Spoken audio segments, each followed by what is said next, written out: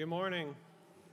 Happy to see you here this morning. Um, if you can tell by the slideshow on the screen, we just finished up with Vacation Bible School. That was an awesome week. Uh, one of my favorite things about Vacation Bible School was being able to pray with the kids and asking for their prayer requests because you never knew what they were going to say. It was a lot different than adults. Um, you know, you would get with equal conviction uh, requests for sick loved ones, and then my favorite was, could you pray that my mom's pickles turn out well? And thought, you know, but that's how it should be, right? You know, God does care about your needs, and He cares about your life. He cares about the big things and the small things. So as we do our prelude this morning, I hope you think of all those things that maybe you need to lay before God this morning.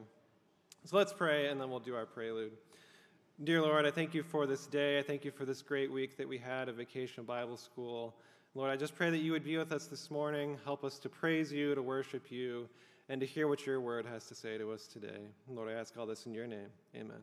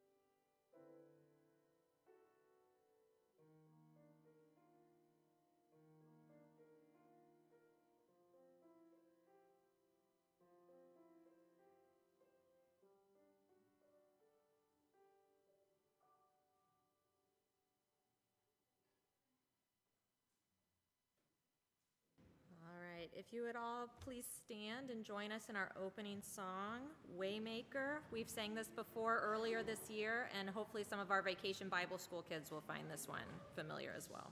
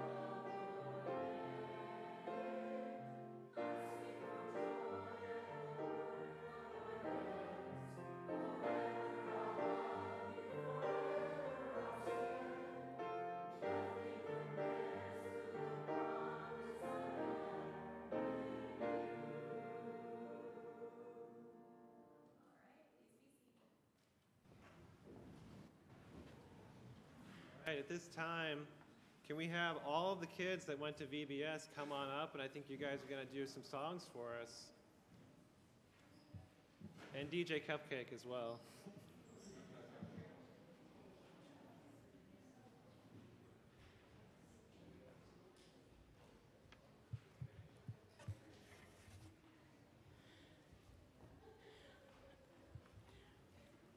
good morning, everyone. I am DJ Cupcake, and I got to help Chef Steve with his food truck this week.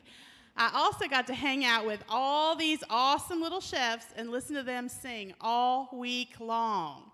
They're going to sing a couple songs for you today that they learned this week during Vacation Bible School, and we hope that you enjoy.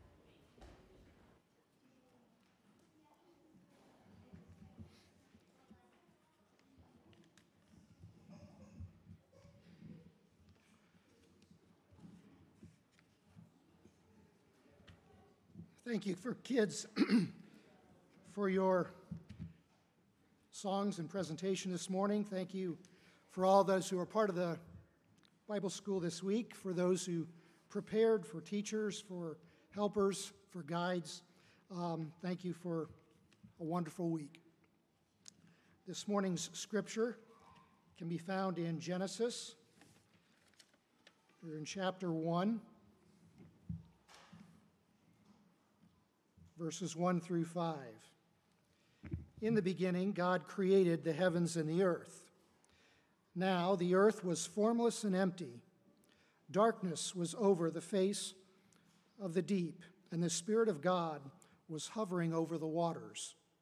And God said, Let there be light, and there was light. God saw that the light was good, and he separated the light from the darkness. God called the light day, and the darkness he called night. And there was evening, and there was morning, the first day. And then moving to John chapter 1, verses 1 through 5. In the beginning was the Word, and the Word was with God, and the Word was God. He was with God in the beginning. Through him, all things were made. Without him, nothing was made that was made. In him was life, and that life was the light of all mankind. The light shines in the darkness, and the darkness has not overcome it.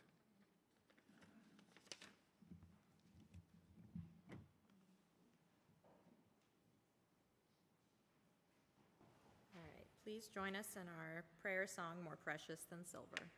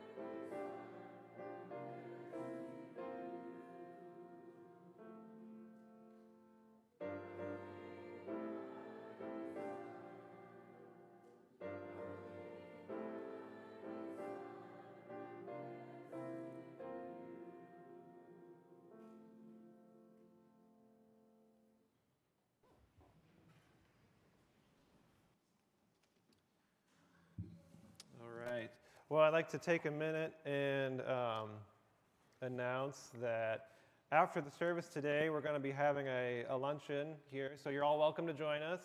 And in fact, they're going to start uh, cooking for that pretty soon. Uh, I think the Men's Fellowship is preparing some hot dogs and hamburgers.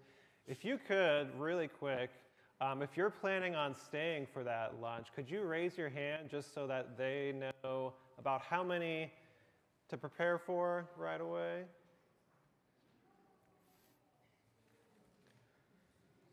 Count all those, Fred? You got it? all right. So this morning, um, I had a few excited teens this morning because they saw the title of the message. It's the dragon message. And um,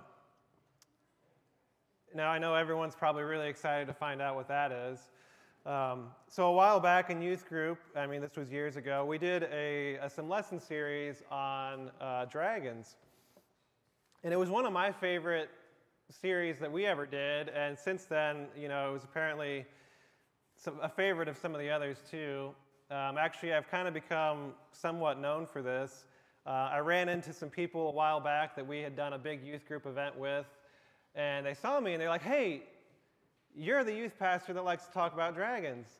And I was like, yeah, I guess. Um, I guess there's worse things to be known for but uh, it makes it sound like I play a lot of Dungeons and Dragons or something, um, which I don't. Or that I, you know, decorate my office with all kinds of dragons and things like that, which I also don't. Uh, but maybe I should after this. Um, but yeah, the, every, uh, about every year, you know, when we do Youth Sunday, I always ask the teens, hey, what do you want to do for Youth Sunday? What, like, what should we talk about? And without fail, there's always at least a couple, if not more, that say, we should talk about dragons for Youth Sunday. And the answer has always been no, because, you know, that series took like over a month to do. And I'm like, I got to cram that into a small, short sermon for Sunday morning, and there's no way I could do it justice. But Pastor Steve is out for two weeks, which means that I have the rare opportunity to give two sermons in a row. So I'm going to take advantage of this. And today we are going to do the dragon message. So hopefully you're intrigued. Um, it's going to take us a bit to get there, but we will get there eventually. Uh, so that's your teaser. You know, that's to keep you awake for the rest of the message.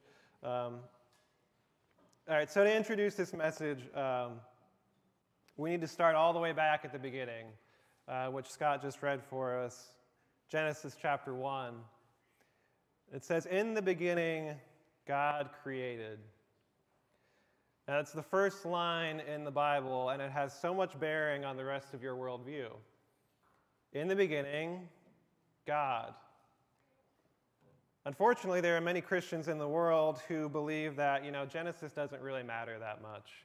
Um, like, look, all you need is Jesus and the New Testament, and that'll get you by. Um, and I would really caution you from taking that stance, um, especially removing Jesus from creation. If we look at the New Testament in John 1, which also was just read, this is how John introduces his gospel.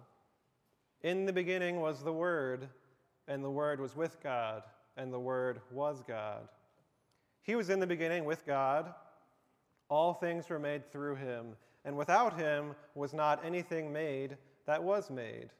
And he continues in verse 14 later, and the Word became flesh and dwelt among us. And we have seen his glory, glory as of the only Son from the Father, full of grace and truth.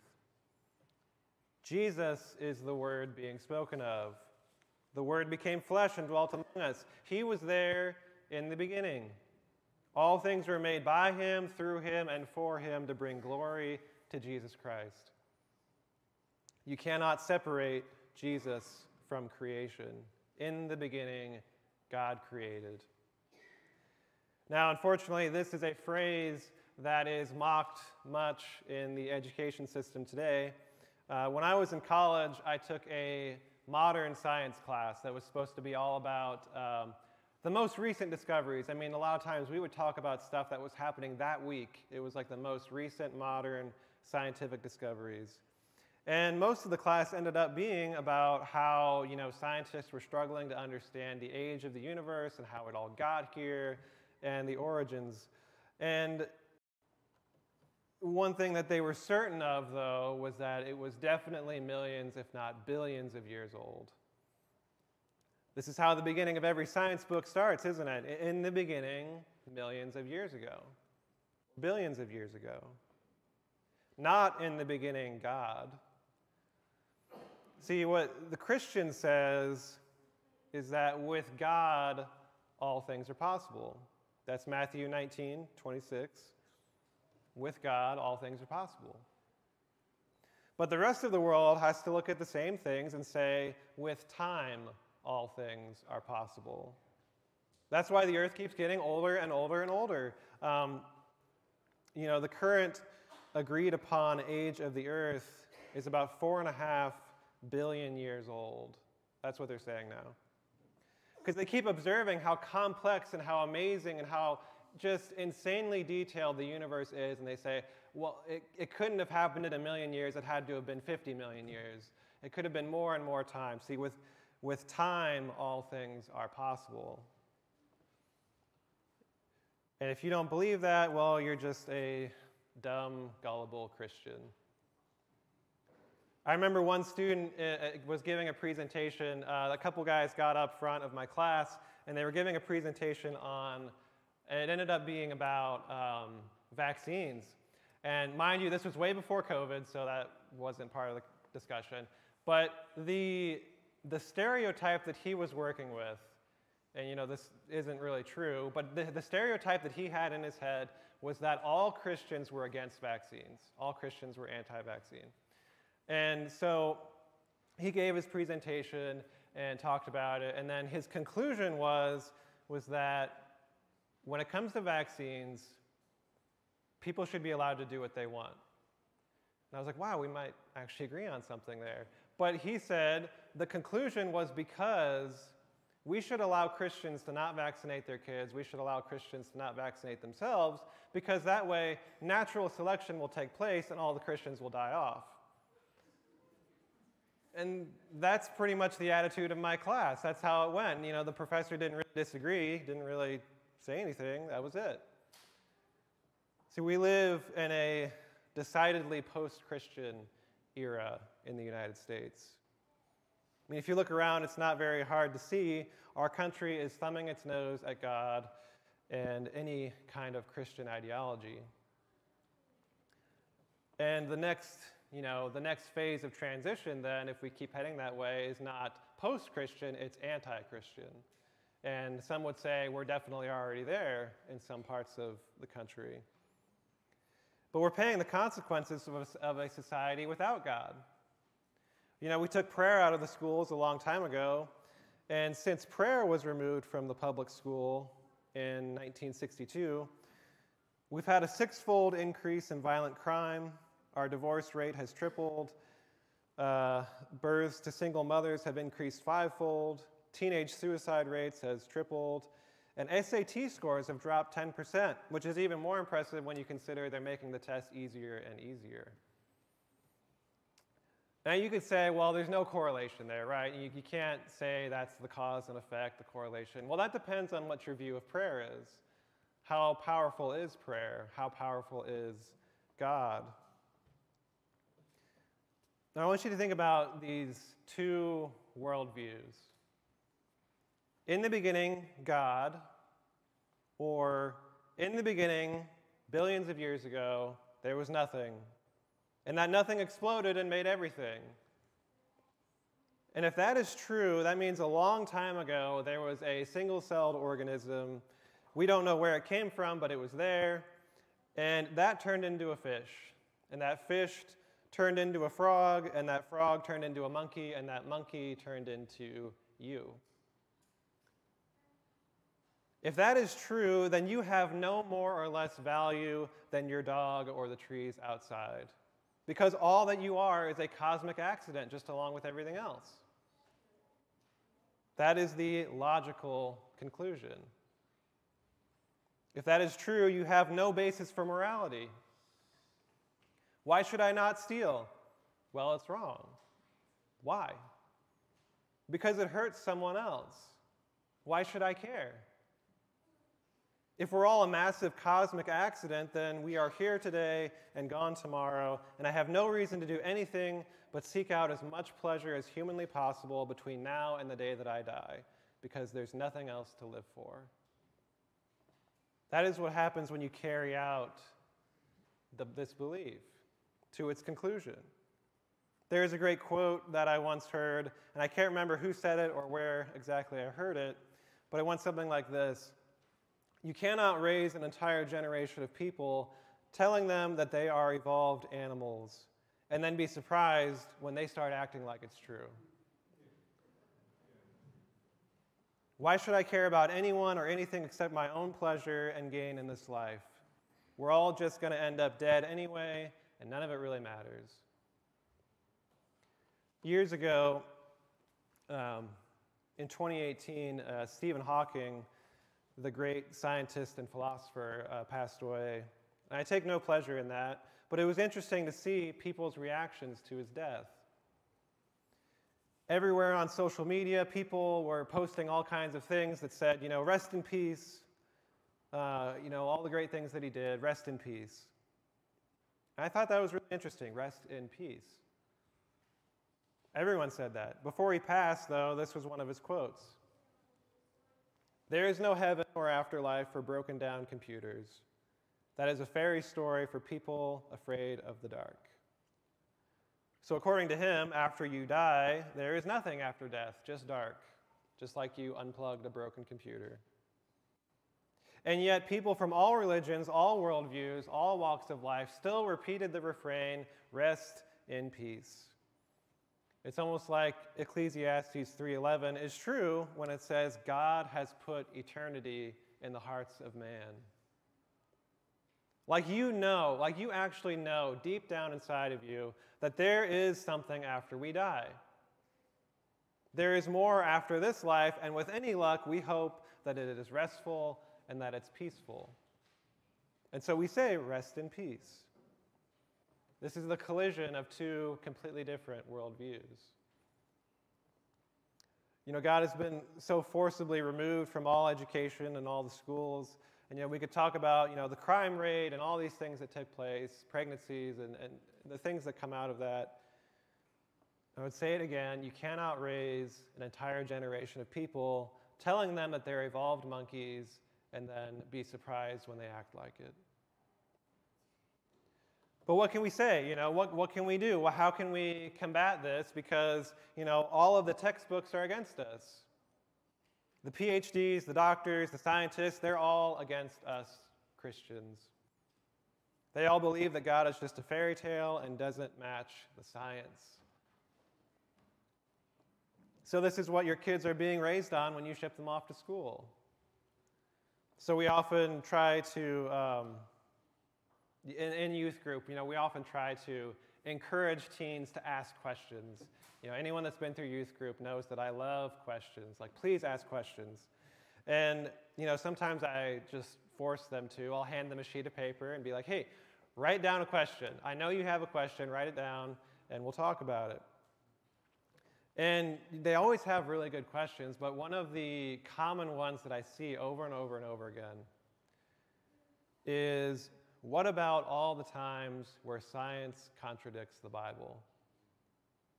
What do we do with that? So do we just, you know, throw our brains in the trash and throw logic and reasoning out the window and just say, well, I'll just close my eyes to it and, and try to maintain my biblical worldview? No, I'd like to prove otherwise. You know, an easy place to start with this is just that the science historically is not always right. You know, how many times have we heard that the past couple years? You got to trust the science, trust the science. Now, I'm not talking about COVID. That's not what we're talking about. But we've always heard, you know, got to trust the science.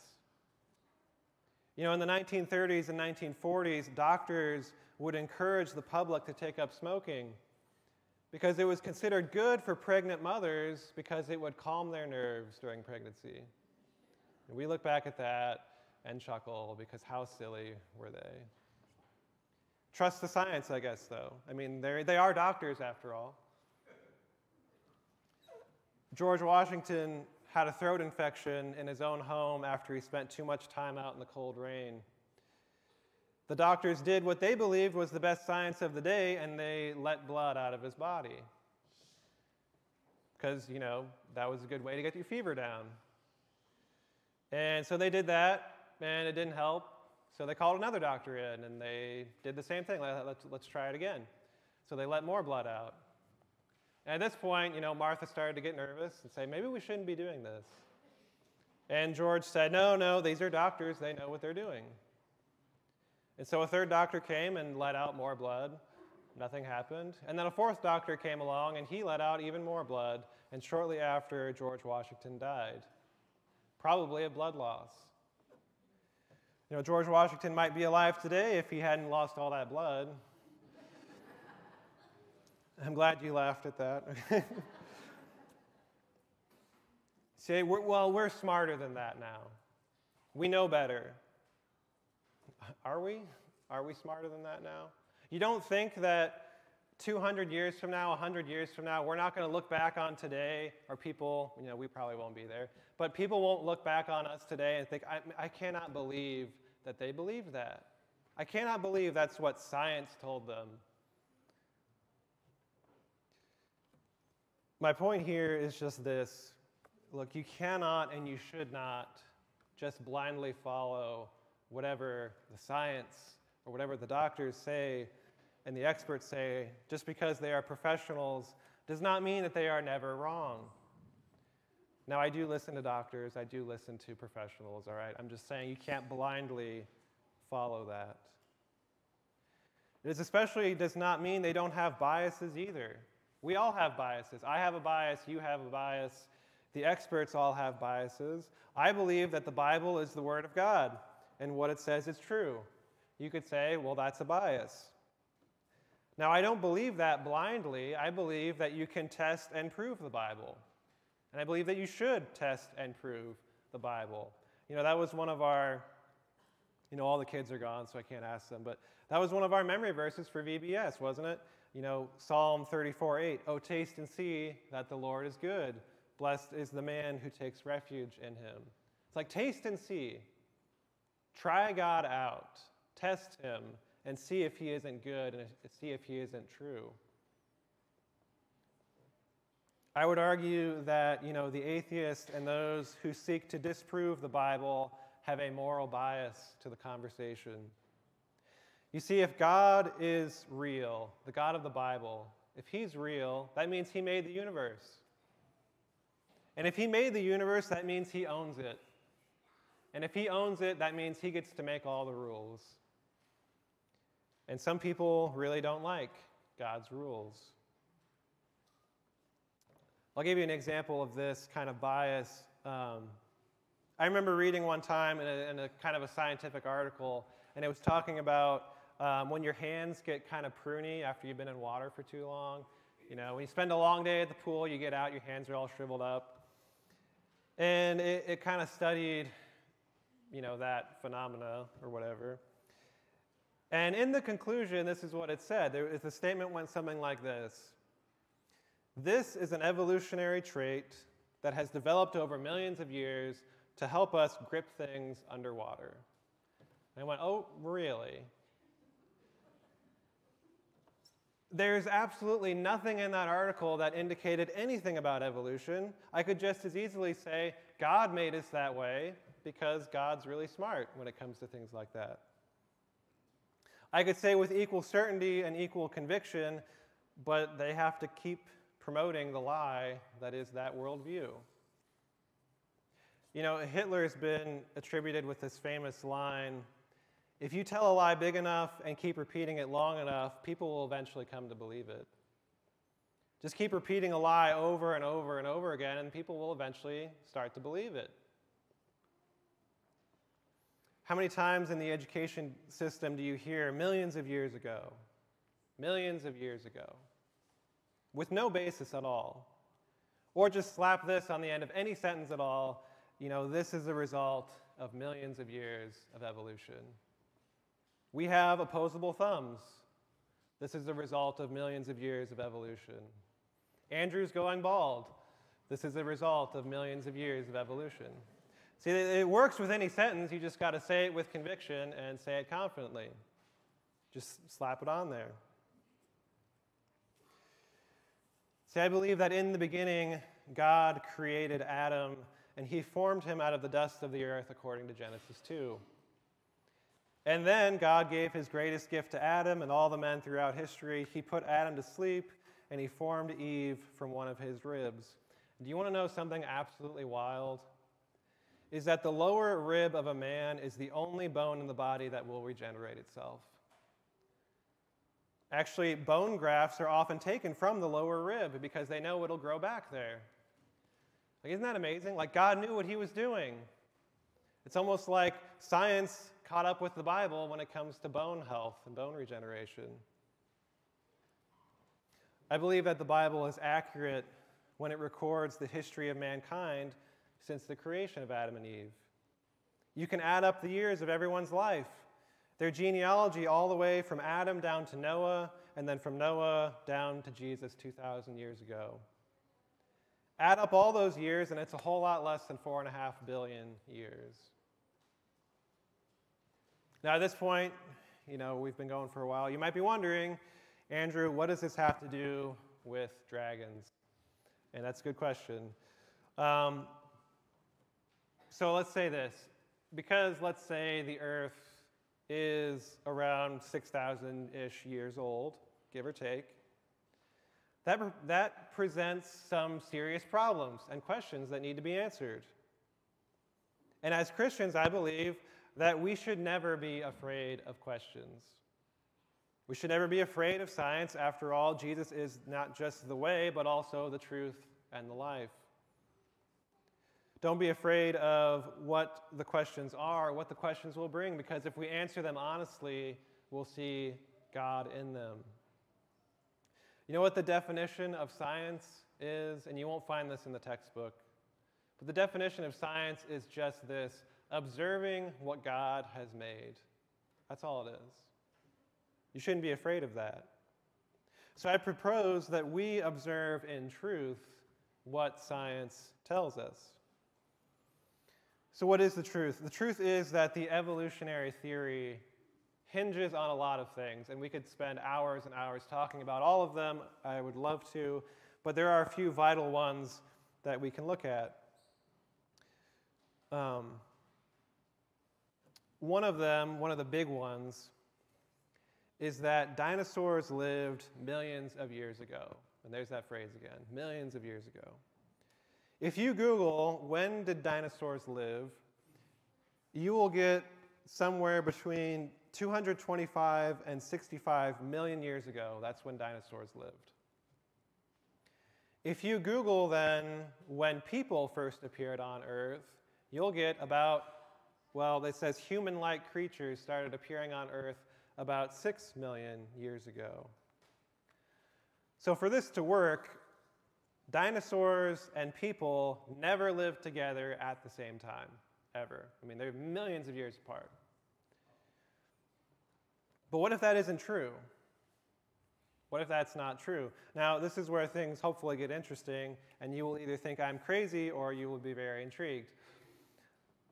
The word dinosaur was not invented until 1841.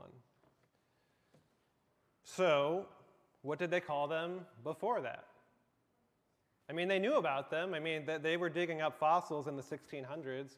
What did they call dinosaurs before 1841? You can find, uh, you can find drawings all over the place, all over the world, it, places in caves that depict dinosaurs and humans living together. Uh, there are the Ica burial stones, which are really interesting. There's thousands of them. And they were from about 400 to 700 AD.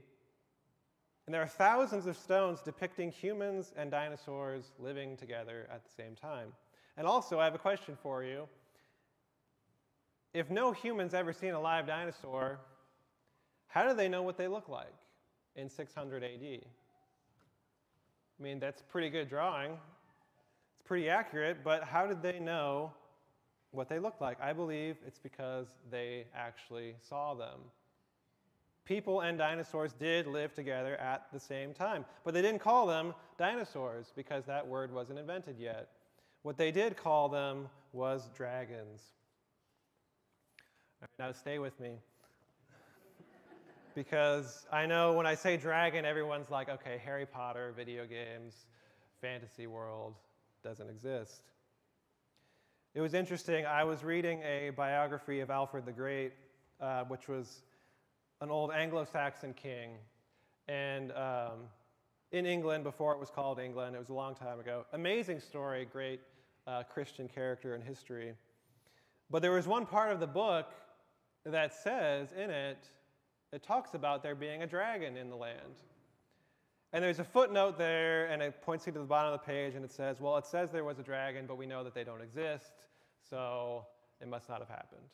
But we believe the rest of the biography, just not that sentence. What if, what if they were just dinosaurs? Well, what if we took off our 21st century glasses and removed from our minds the millions of years ago lie that's been pounded into our heads for years? What if we looked at it that way? There are all kinds of stories about dragons that appear right alongside historical data that we accept as true. But as soon as we hear the word dragon, we write it off because that must be fantasy. The Chinese calendar um, is made up of 12 animals 11 real ones and one fictional one, apparently. You know, we've got the year of the cat, the dog, you know, the pig and all that, but then the dragon. So why use, why use one fictional animal and use 11 real ones? Well, probably because I think they actually saw one and they were real to them. You know, Marco Polo lived in China for a while around 1271 AD and reported that the emperor was raising dragons to pull chariots in his parade. Like, wow, that's interesting. It must be a fantasy. In 1611, there was a post in China also from the emperor posting the position of royal dragon feeder alongside a bunch of other normal job positions. Why do you need a royal dragon feeder? Probably to feed the royal dragon. But I don't think they were dragons the way that we envision them today, because they didn't have the word for dinosaur then. Just remember that word was not around and they had to describe what they were seeing somehow. Now, if we go back to my bias, which was that I believe in the Bible, I believe the Word of God, and that the Word of God is true. Eventually, all science and all knowledge will have to catch up with the Bible in this life or the next. So, what does the Bible say on this subject? Well, if we take, take a look at Job chapter 40, it's a really interesting passage. And in this passage, it talks about this beast. Now, right, and this is right in the middle of, you know, Job's finally cracked under the pressure. He cries out to God, explain yourself. And God sits him down and says, Hey, where were you when I made all this? Where were you when I made the earth? Where were you when I stretched out the heavens? And in the middle of all that, he goes on describing his creation. He says, Behold, behemoth, which I made as I made you. He eats grass like an ox. Behold, his strength is in his loins, and his power in the muscles of his belly. He makes his tail stiff like a cedar, the sinews of his thighs are knit together. His bones are tubes of bronze, his limbs like bars of iron. He is the first of the works of God. God is describing to Job a mighty creature that Job has apparently already seen. Verse 19 says that he is the first of the works of God, and that word could be translated as chief. He's the first, he's the greatest of the works of God. The biggest dinosaur ever found was aptly named the Supersaurus, and it is 138 feet long, weighing in at about 40 tons. And here's a picture of him for scale. That's a big, that's a big animal. Now let's review what God says in the book of Job. It eats grass. Well, all of those kinds of dinosaurs were grass eaters. It gets its, or it's got a big belly. You know, that checks out in verse 16. Its strength is in its belly. Its tail was like the cedar in verse 17. That's a big tail, like a cedar tree. You know, he wasn't talking about an elephant, he wasn't talking about a rhino. That tail is like a cedar. He is the chief of the works of God, and Job saw him with his own eyes. A dinosaur probably less than a few thousand years ago, he saw him. Now, according to the Bible and according to you know, the science and the history and all these things, the earth is not millions or billions of years old. It is actually quite frustrating to give a message like this because of just the sheer amount of data that I could pull from to talk about this. I mean, we could talk for hours and hours and hours, but you know, we've got lunch waiting for us, and hopefully I can hit the high points. We could talk about how, you know, we found soft dinosaur tissue and how scientists now have to figure out how did dinosaur tissue stay, stay soft for 70 million years? Well, it probably didn't. That would never occur to them, though, because they have that bias. How can virtually every nation on earth have history and drawings of dragons and dinosaurs as if they had really seen them? You know, supposed cavemen, how did they know what they looked like accurately? How can you go to natives in the jungles of Congo and show them a picture of a dinosaur and they say, Yep, we've seen those. Those are terrifying. On the edge of a huge jungle. How come there have been 20 foot long alligators found? Um, you know what a 20 foot long alligator is? That's a dinosaur. If you run across a 20 foot long alligator and you look at it, I'm thinking that's a dinosaur. Or a dragon if you've lived over 200 years ago. You know what dinosaur means? It just means terrible lizard. That's what the word dinosaur means. If I ran across an alligator that big, I would think that was a terrible lizard. Because just as the Bible said, in the beginning, God created. Because with God, all things are possible. He does not need billions of years. And because God made everything, here's the conclusion He made you as well. You are not a cosmic accident. As the psalm says, you were knit together in your mother's womb. You were carefully crafted by God in His image. You bear the image of God. That means that you and all human life are immensely valuable. Immensely valuable.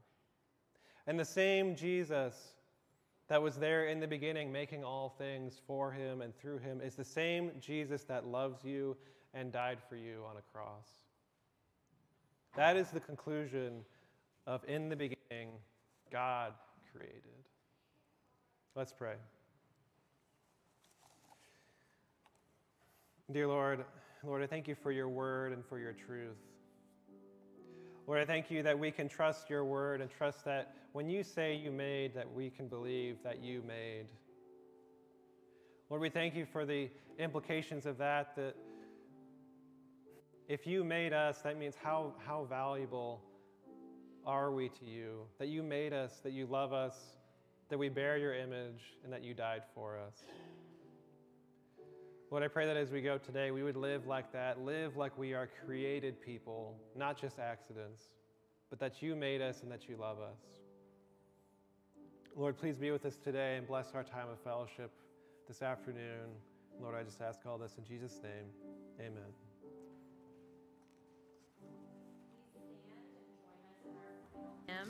Make me a servant.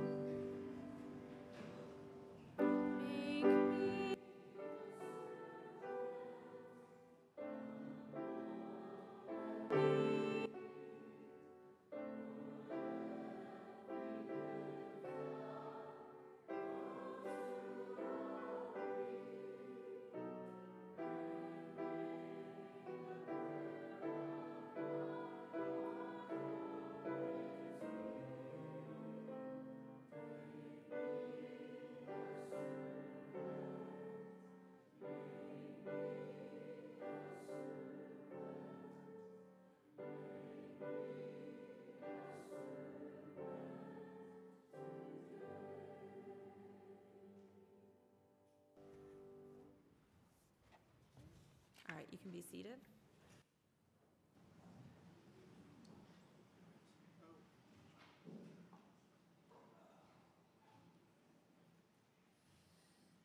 All right. One thing I always tell the teens when they go home from a lesson like that is don't just tell your parents with zero context that Andrew believes in dragons. There's a lot more context to that. All right. Let me pray for us before we go. Dear Lord, I pray that you would bless us today. I pray that you would bless our fellowship today and this afternoon. Lord, I pray that um, today you would just work in us, work the belief in us that we are made in your image and that we can lean on you, we can depend on you, and we can look to you for all things.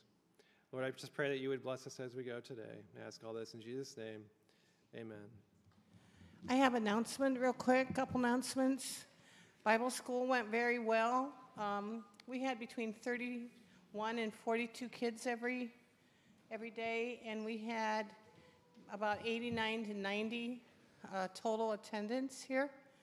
And we collected $989.27 for Heifer International. So, food truck party was great. We have a lot of pictures out there. Please take the pictures. that of you that you see of kids that you had. And we also have some groceries out there. Those are the things, the snacks and food left over from Vacation Bible School. Please take what you want because we need all of that gone. So there's plenty of things there for you to look at on your way out.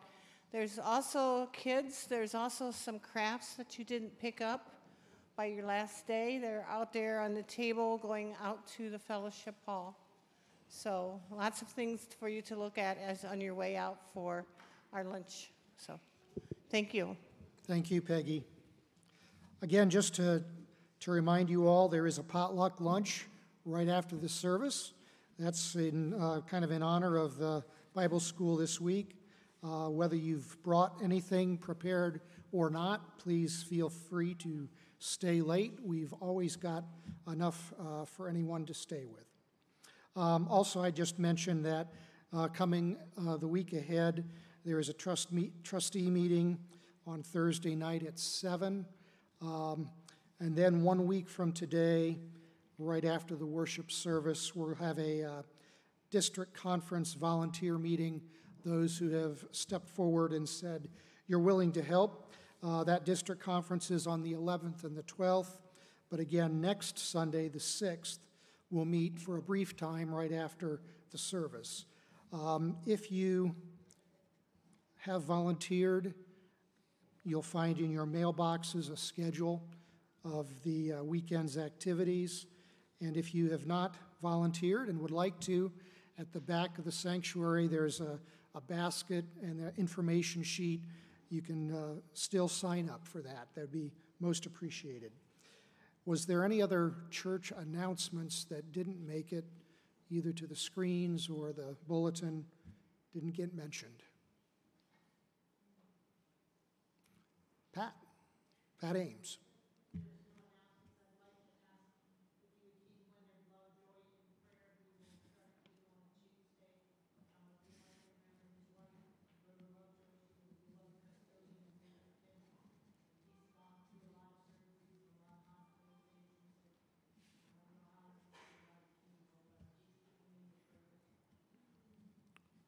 Keep in our prayers Leonard Lovejoy. Are there any other prayer requests? Pat.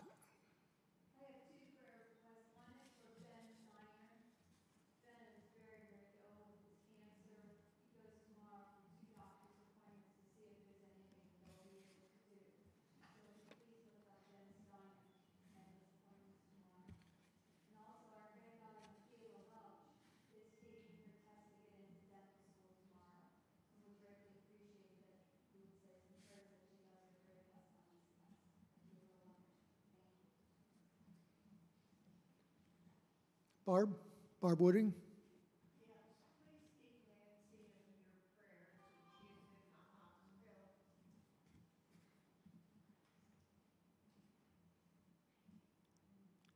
Anyone else? Let us close then in prayer.